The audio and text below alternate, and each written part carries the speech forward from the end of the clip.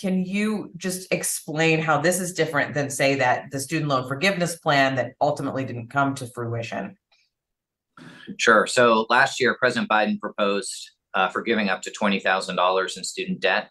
Um, that plan was struck down by the Supreme Court earlier this summer, and we disagree with that decision. Um, but we're going to move forward, and we're looking at other paths to loan forgiveness. We found so far 3.4 million people who are eligible for loan forgiveness because they're public servants, because they've been in repayment for a long time. And we're taking a look at the rules for all of our programs and seeing uh, who else we can help. And the president has asked us to help uh, as many people as possible and to move as quickly as possible. So that's what we're doing.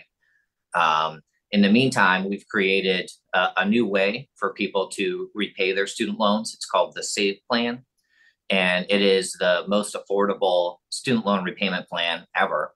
Uh, the SAVE plan is uh, called an income-driven plan because your monthly payments are based on a sliding scale uh, based upon your income. So if you earn less than about fifteen dollars an hour or more if you have a family, uh, you don't have to pay anything. And that's because we think student loans shouldn't come before the basic necessities. And then above that level, you pay uh, a small share of your income one of the questions I had about that when um, one of our staff members brought it up, and they're just trying to pay off, you know, student loans from community college, was will it continue to accumulate interest during that time, or will it will where will there be a scenario where maybe they'll accumulate more interest because they're not making payments that are as big. Are, are you concerned at all about people getting even more kind of underwater with their student loan debts for, for lack of a better term? No, that's a big change in the SAVE plan. And that's something we've seen in some of our other um, attempts to help people. We lower monthly payments, but the result is it doesn't cover interest and the loans continue to grow and grow over time. There are a lot of people who owe more than they borrowed on their student loans. So we're ending that in the SAVE plan. If you were making your monthly payments, you're no longer going to see any interest accumulating. Your loan won't get any bigger. Okay.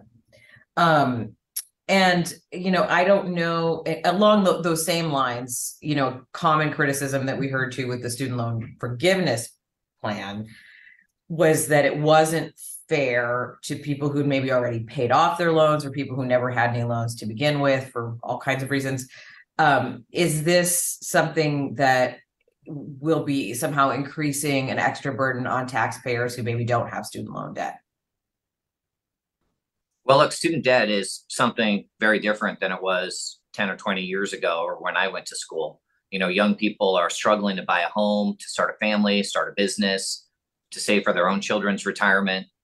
And so this is not just an issue for 43 million Americans with student loan debt. It's an issue for their families.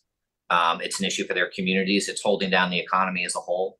And I'm worried it's frightening young people who don't want to go to college. College enrollment is down as well. And that's not good for our um, country to have fewer people going to college. So we really have to be aggressive in tackling the student debt problem.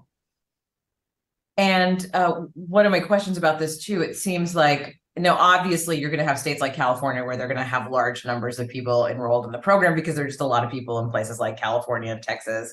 It, but it does still even based on population, it does still seem uneven across the country where people have enrolled and they haven't. I I don't see any rhyme or reason to it necessarily demographically, but I'm sort of curious what in addition to doing these kind of um, these kinds of interviews, what else you're doing to to reach people to let them know that this program is available?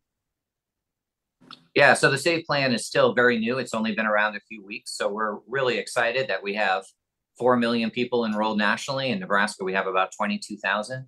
You know, that said, there's still a lot of people out there um, who we can help. So we're emailing them, we're texting them, um, we're going to keep doing that. Um, we're launching a partnership with grassroots groups called Save on Student Debt. They're going to be helping us get the word out. Um, and you know, everywhere I go, I ask for help and making sure that borrowers know we have affordable repayment options. Uh, we have loan forgiveness programs like public service loan forgiveness, because there's a lot of people out there who are not taking advantage of the full benefits that come with a federal student loan.